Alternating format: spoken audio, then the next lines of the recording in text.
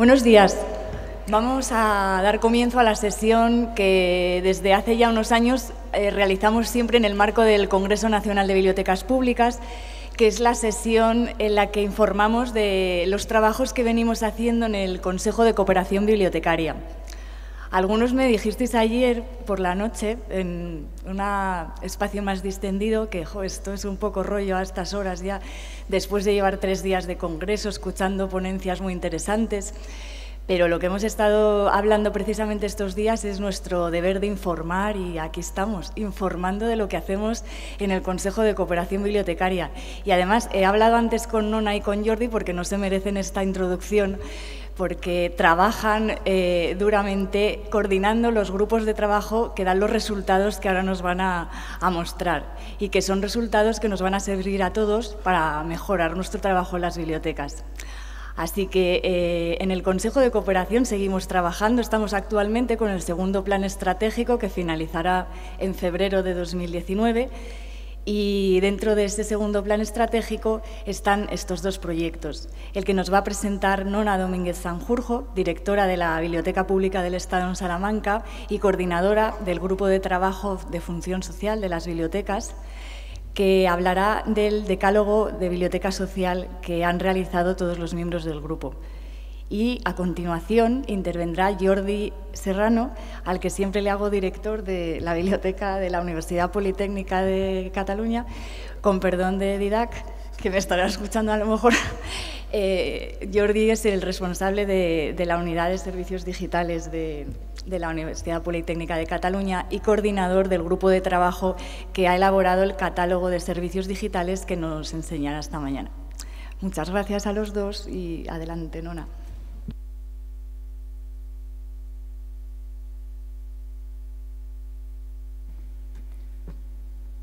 Bueno, pues hola a todos.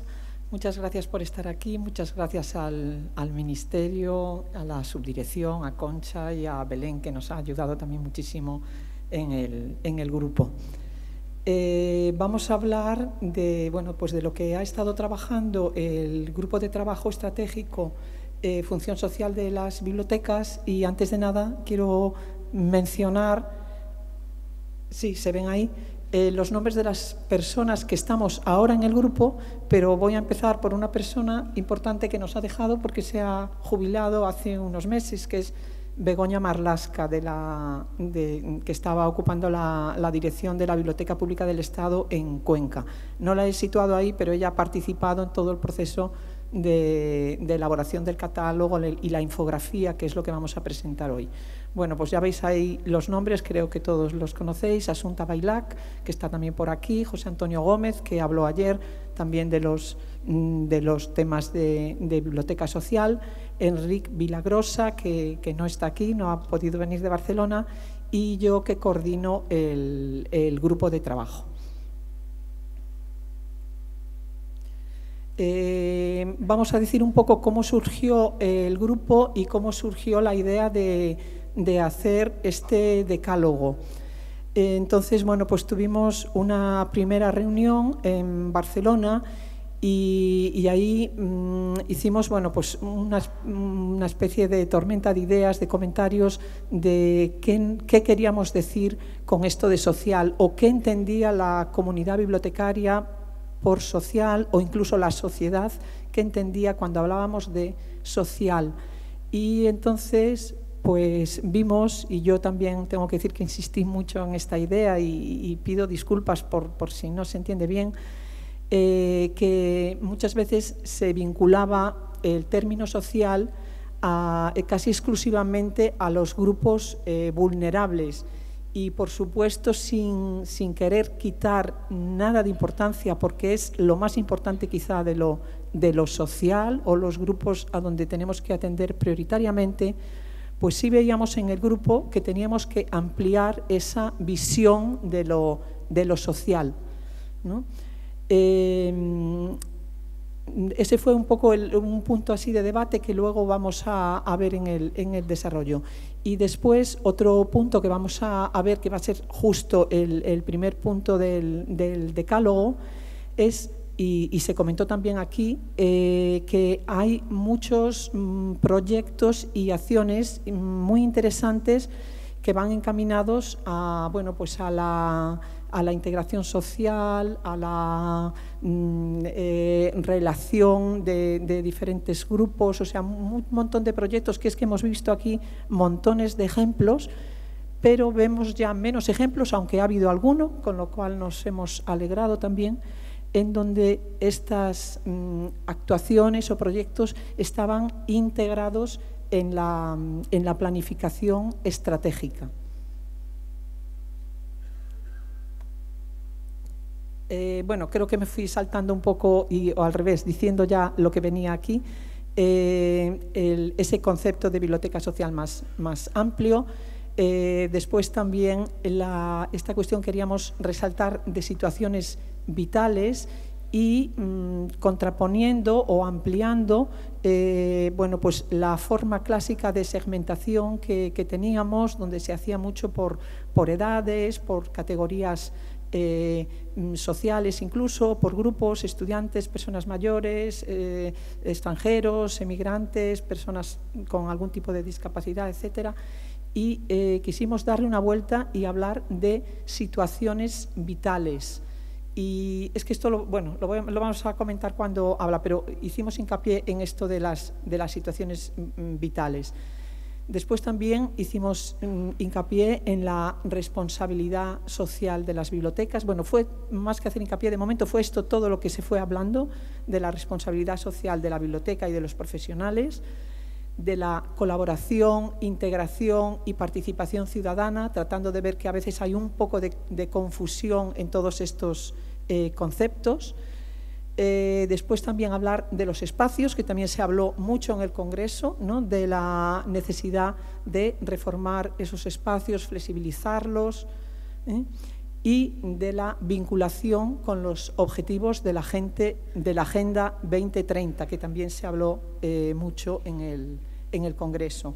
Entonces vamos a partir de la infografía, que traigo las diez imágenes de la, de la infografía que, que quieren eh, mostrar un poco lo que es el decálogo. El decálogo mm, viene bueno, pues más explicado, pero esto de una manera así visual pretende dar, decir un poco lo que, lo que queremos o pensamos que las bibliotecas eh, deberían incluir en su, en su trabajo eh, elabore un proyecto de biblioteca social y marque objetivos. Va relacionado con lo que acabamos de decir, de muchas acciones, muchos proyectos aislados, pero muchas veces de carácter mm, cuasi personal, o sea, yo conozco a mm, un educador social y porque justo lo conozco y tiene un grupo, los incorporamos a la biblioteca, pero no hay una planificación que permita que eso se, se, desarrolle, se desarrolle y siga. ¿eh? Eh, después, otra cuestión que también, que también salió mm, aquí y que la hacemos eh, todos, buscar colaboradores y sumar eh, fuerzas.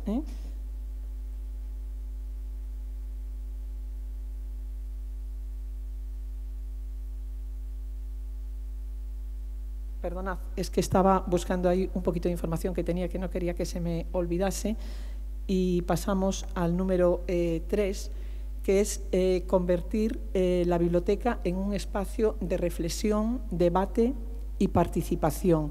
Y aquí era lo que estaba buscando y lo que quería incidir y me vais a permitir que lea este punto 3 porque me parece interesante.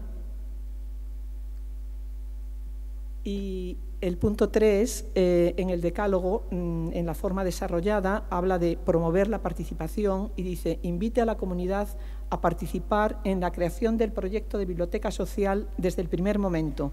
Solo así se garantiza la satisfacción de las necesidades de los ciudadanos. Solo así se, garantiza la satisfacción de las necesidades de los ciudadanos. Convierta la biblioteca en un espacio de reflexión y debate para potenciar el ejercicio de una ciudadanía real y activa y el último punto, incorpore las herramientas de la participación ciudadana en la gestión de la biblioteca. Quería hacer hincapié en ese punto porque muchas veces confundimos un poco colaboración con participación ciudadana. ¿eh? Entonces, eh, colaboración, sí que colaboran los ciudadanos y los ciudadanos dan unas charlas en la biblioteca y colaboran y no nos cobran nada. La asociación X de, no sé, de micología nos da unas charlas sobre setas ahora en otoño, ¿no? pero no podemos entender que eso es participación ciudadana. La participación ciudadana involucra, como ya se dijo también en el Congreso, en varias de las, de las presentaciones y ponencias, implica que, el ciudadano esté dentro de la gestión, o sea, participe en la gestión. Y veíamos que las bibliotecas, eh, por ser muy cercanas a los, a los ciudadanos, pues era como, nos serviría un poquito como lugar de ensayo para esta participación ciudadana de la que, de la que venimos hablando. En, el número 4 dice, atienda las necesidades de las personas en sus distintos momentos vitales, que era lo que me refería al principio. Y aquí en momentos vitales, pues decimos personas recién llegadas a la ciudad, personas que han perdido su trabajo, personas que se acaban de jubilar, personas que se acaban de separar. Eh, bueno, pues todos esos eh, momentos que, bueno, que, o sea, que, todos pasamos, ¿no? personas que están saliendo de una enfermedad y que no son tan eh, visibles como, los grupos desfavorecidos, a los que, insisto, también tenemos que, añadir, pero que hay esos grupos con necesidades menos visibles, pero que sabemos que están. En el número 5, eh, bueno, pues una cosa obvia y que se vio hoy aquí, conozca el trabajo de los demás para encontrar nuevas soluciones, ¿no? el, trabajar de forma compartida con otras instituciones, asociaciones, personas. En el eh, número 6, eh, promueva el compromiso de los trabajadores y la responsabilidad social de la biblioteca. Este es otro punto que, que queríamos destacar y en ese sentido mm, es la responsabilidad mm, del trabajador y de la propia biblioteca y también vinculado con algunos de los objetivos de la Agenda 2030 en cuanto a cuestiones de sostenibilidad y, este tipo de, cosas. En el número 7, eh, desarrolle espacios flexibles, amables y sugerentes en los que todos eh, tengan cabida. Eh, esto también lo hablé informalmente con compañeros y salió mucho también en las, en las comunicaciones, esa necesidad de transformar y acondicionar los espacios, que muchas veces, mm, bueno, a veces exige grandes reformas, pero a veces con muy poco se pueden, se pueden eh, transformar. Eh, este es el punto mm, por el que, bueno, que lo, con que lo vinculo con esta última eh, charla o esta última mesa redonda, ¿no? cree un plan de comunicación que implique a todo el equipo. Mm, hablamos de que las bibliotecas tienen poca mm, visibilidad, pero es que realmente nos presentamos mal y comunicamos mal.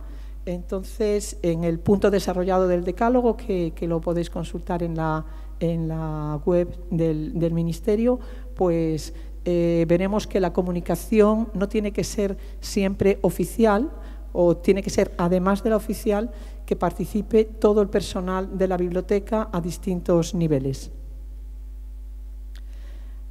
Eh, vamos ya acabando. Promueva una sociedad más comprometida y justa, va un poco en la línea de lo anterior, pero mm, hablando ya un poco a, toda la sociedad y quiero mm, hacer hincapié en la, eso, en la necesidad de atraer a la biblioteca a todo tipo de personas y que se produzca esa interrelación. Ayer o anteayer, incluso ya fue el miércoles, que se hablaba de crear un espacio mm, de de discusión o de debate que fuese socialmente transversal y yo creo que, bueno, pues encajaría, encajaría aquí.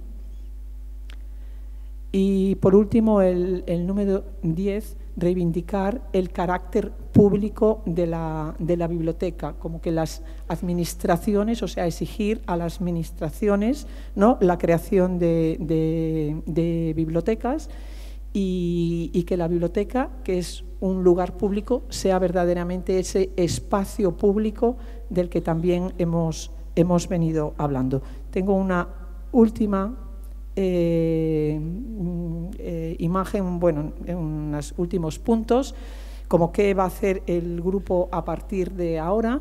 Queremos dar mayor difusión al decálogo y, facilitar la discusión del decálogo, que puede estar, claro que sí, en, evolución.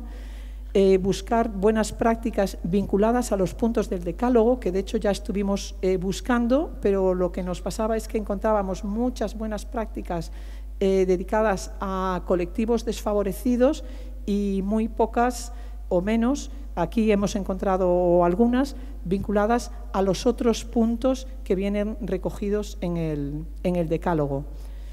Eh, queremos también hacer un poquito de seguimiento de cómo va el análisis y la evolución de las bibliotecas en este, en este sentido de, de lo social, de la biblioteca social vincularnos más, porque hay muchas cosas que, están muy interrelacionadas con los objetivos de la Agenda 2030 y después, que ya lo ponía muy al principio, pero lo quería volver a resaltar aquí, eh, la incorporación paulatina de la gestión participativa a las bibliotecas, o sea, de esa participación ciudadana, pero que la entendamos como verdadera participación en la, en la gestión ¿eh? no, no, solamente colaboración, que, también está muy bien.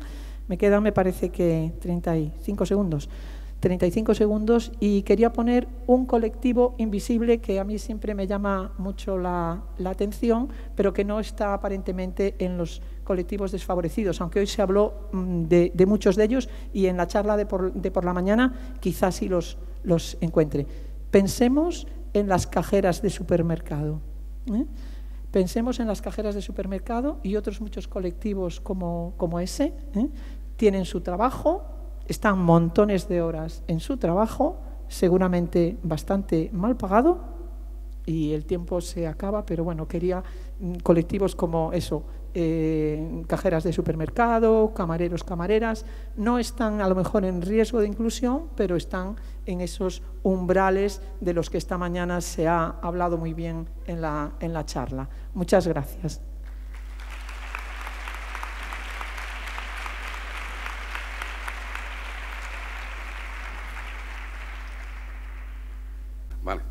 Bueno, buenos días. Yo me sumo también a los agradecimientos a la organización, al Consejo y al Ministerio, igual que el resto de, compañeros de los diferentes grupos de trabajo. Y también agradezco a Concha que me haya subido la categoría. Ahora lo siento por mi jefe, pobre hombre. No es. Bueno, yo lo que os voy a comentar es el, trabajo realizado por el, por el grupo de trabajo el, grupo de trabajo de servicios digitales, que hemos elaborado un catálogo y a partir de ahí hemos generado unas, unas infografías. Eh, forma parte del, segundo plan estratégico 16-18 que también comentaba Concha y el, concepto es este, elaborar un catálogo de servicios digitales. Eh, formamos parte de este grupo de trabajo eh, Natividad Martínez de las Bibliotecas de la Comunidad de Madrid, María Prego del, del Museo del Traje, y Nuria Díaz de la Biblioteca Pública del Estado de Soria y yo en nombre de Revion como coordinador del grupo, o sea que estamos representados bibliotecas públicas, redes de bibliotecas, bibliotecas universitarias y bibliotecas especializadas. En algún momento u otro también se, eh, nos incorporará alguna persona de gente de las bibliotecas escolares. E, esto forma parte del el objetivo es, digamos, que en vuestras bibliotecas, digamos, eh, promováis la presencia de contenidos y colecciones de, este universo digital. Y la idea es que incorporéis en vuestras cartas de servicio los diferentes, las propuestas que hemos hecho, en medida de lo posible, en función de vuestras posibilidades, en función del perfil de vuestros usuarios, de vuestro tipo de biblioteca, e incorporando de forma progresiva, más o menos cada uno a su ritmo, eh, estos servicios en las bibliotecas y que queden reflejados en la carta de servicio. Entonces, lo que hemos elaborado es un documento, eh, creo que son unas 15 o 20 páginas, con 24 o 25 conceptos que entendemos el grupo como servicios digitales. Eh, existe ahora ya en el portal del Consejo una segunda versión, edición marzo del 2018, Y en vez de hacer un redactado formal, digamos, muy orientado a la profesión, digamos, que ese idioma más o menos marciano que hablamos nosotros y tal, le, quisimos dar otro aire, otro tono y lo orientamos muy al usuario, digamos, un lenguaje como más informal, eh, digamos, qué puede encontrar un usuario, qué servicios digitales un usuario puede encontrar en la biblioteca. Lo hemos escrito en lenguaje no bibliotecario, pero digamos sería el elemento de referencia para que vosotros lo hagáis vuestro y identifiquéis de estos servicios que nosotros comentamos cuáles pueden ser eh, o se pueden implementar en vuestra, en vuestra biblioteca. También un poco para diferenciarlo, lo dividimos estos servicios en tres, en tres ejes. Uno de infraestructuras, que sería qué es lo que cualquier usuario puede encontrar en la biblioteca, pues acceso a Internet, eh, eh, formación presencial en, tecnologías, no sé, el Codeclub, por ejemplo, que comentaban esta mañana, sería un ejemplo. Otro en contenidos, digamos, pues tenemos repositorios, tenemos ¿no? colecciones patrimoniales, tenemos la plataforma de libros digitales, que pueden encontrar estos usuarios en estas bibliotecas, y luego estos servicios virtuales que ofrecemos nosotros a los usuarios, digamos. No estamos 7 por 24 horas, pero que no hace falta que vayan presencialmente a la biblioteca para interactuar con nosotros. El problema que nos encontramos a, la hora de elaborar este documento es que, claro, no existe una homogeneidad entre, entre bibliotecas. ¿no? Digamos, las universitarias tenemos fama de que somos más ricos y más potentes, pero las redes de bibliotecas públicas también, eh, y en cambio también hay pequeñas y modestas bibliotecas ¿no? en pequeñas poblaciones que quizá no disponen de, esta infraestructura.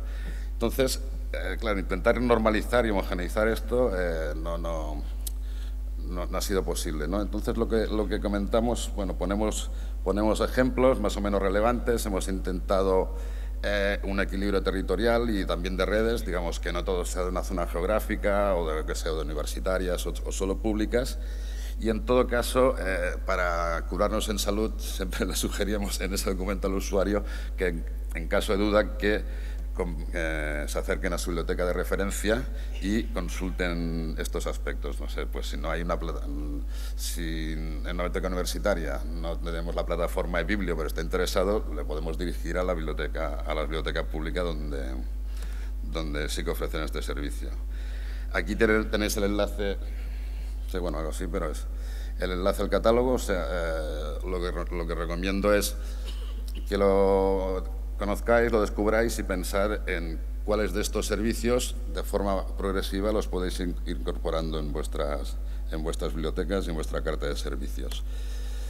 Eh, antes de entrar en la infografía, lo que sí que os quería comentar era respecto al, a estos servicios digitales, digamos que no todo tiene unos costes exagerados, digamos, a veces hay pequeñas iniciativas, eh, Internet está lleno de pequeñas aplicaciones y utilidades, podemos hablar de low cost, que podéis implementar en vuestra biblioteca. No hace falta tener grandes presupuestos en muchos casos para implementarlos. Eh, estoy pensando, bueno, me lo invento, pero uno de los servicios de esto, por ejemplo, podrían ser conferencias por streaming o debates. ¿No? necesitamos una gran infraestructura de cámaras como la que como la que nos está filmando y tal, digamos, un móvil mínimamente ¿no? Eh, decente, con una calidad de una resolución mínima y con conexión wifi, eh, hay 50.000 utilidades para que tú hagas un streaming de ese debate o de esa conferencia que se está haciendo en la biblioteca. O sea, digamos, tampoco pensemos en lo grande, digamos, en un tema también eh, que penséis en esas, en esas funcionalidades. A partir de ahí lo que hemos hecho es para que podáis difundir esos servicios digitales que vais implementando, una infografía. Entonces, eh, ahora os la comentaré, digamos, podéis generar e imprimir en formato DIN A3, podéis generar PDF para colgarlo en vuestros portales, en vuestras sedes web o en el sistema de cartelería que tengáis en vuestras bibliotecas.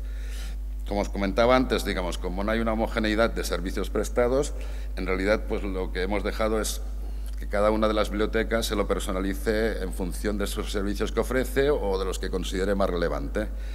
Es una plantilla que ya incluye ocho servicios que entendemos que más o menos todas las bibliotecas estamos ofreciendo y luego hay otros servicios añadidos que uno, eh, cada biblioteca se los puede organizar como, como quiera. en cada uno de estos servicios hay un, eh, contiene un, un, icono, una descripción y, y esa, el icono o imagen representativa. Luego también, en, lo que os comentaba al principio de, si era infraestructura, servicios o contenidos, eh, va asociado a un color, lo tenéis disponible en las cuatro lenguas oficiales del Estado y herramientas para utilizar, pues eh, se puede utilizar Adobe Illustrator, Adobe Acrobat, PowerPoint en función del software que tengáis disponible en vuestras bibliotecas. Estos son los servicios predefinidos.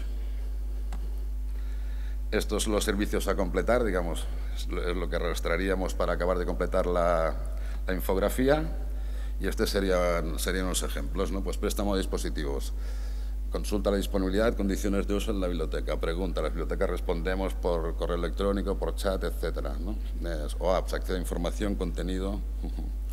Estas serían dos infografías aquí también las tenemos de ejemplo, tenéis el enlace detrás.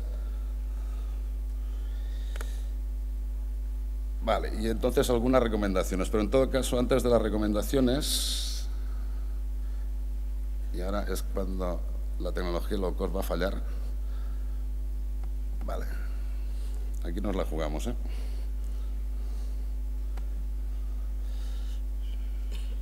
Esto sería, por ejemplo, elaborar, eh, hacerle Vale, veis es simplemente ir arrastrando los diferentes iconos si trabajáis con Adobe Illustrator. Tengo aquí otro ejemplo. Bueno, finalmente es aquello, imprimir o convertir en PDF, enviar a la impresora o... Pues no, me está haciendo quedar mal, mira, contento estoy. si trabajáis con a ver, espera, esto lo tenía aquí. Aquí lo mismo, por ejemplo, si trabajáis con Adobe, ¿no? Ajustar al tamaño 100% el, el archivo y luego simplemente, pues esto también está descrito en el portal cómo hacerlo, ¿eh? Eh, ir a herramientas, editar, este, vale, no me hagas quedar mal, vale. Bueno, claro, buscar el hueco donde poner, el, poner la, infografía, el, el servicio que queremos destacar un poco lento. Herramientas, habría una opción de insertar imagen. Es que yo voy más rápido que la pantalla, ¿eh? No está,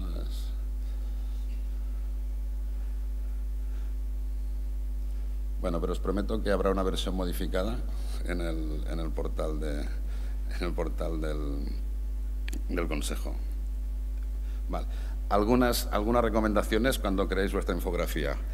Eh, ya hay disponibles unos cuantos ejemplos. Digamos, los hemos hecho aleatorios. Si esos ya cumplen esos servicios que vosotros eh, eh, estáis ofreciendo y se ajustan al, lo que está, a esa carta que ofrecéis, pues simplemente es imprimirlos y adelante. Podéis realizar y hacer las diferentes versiones, combinaciones de tamaños, colores y modelos de, los servicios. Si hace falta cinco infografías, se utilizan cinco infografías. Puede ser que algún servicio de los predefinidos, eh, por el motivo que sea, no, no se ajuste en vuestra biblioteca, no esté disponible. Entonces también disponéis de unos iconos que te permiten tapar ese servicio que hemos predefinido o lo podéis tapar con otros de los que haya. Y luego también unas recomendaciones esas infografías y esos servicios que estáis ofreciendo e irlos publicando en las redes sociales con el hashtag eh, bibliodigital. aquí tenéis también unos enlaces, pero esto lo publicaremos en el portal del Congreso. Eh, eh, Adobe Illustrator.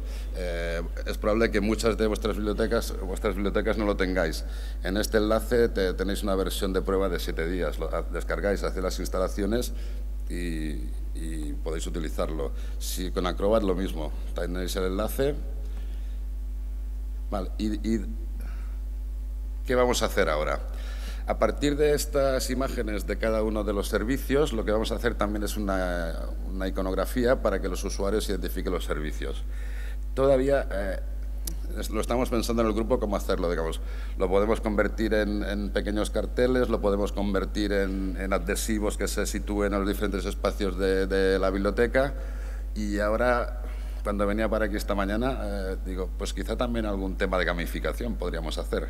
Lo vamos a acabar de madurar, ¿eh? pero bueno, esta iconografía que muestre en vuestras bibliotecas qué es lo que estáis ofreciendo. Y luego ya, como esta información, digamos, ya la tenéis en la infografía y estáis trabajando en ello, etcétera, etcétera, lo que vamos a hacer también es geolocalizar estos servicios digitales que estamos ofreciendo todas las, bibliotecas.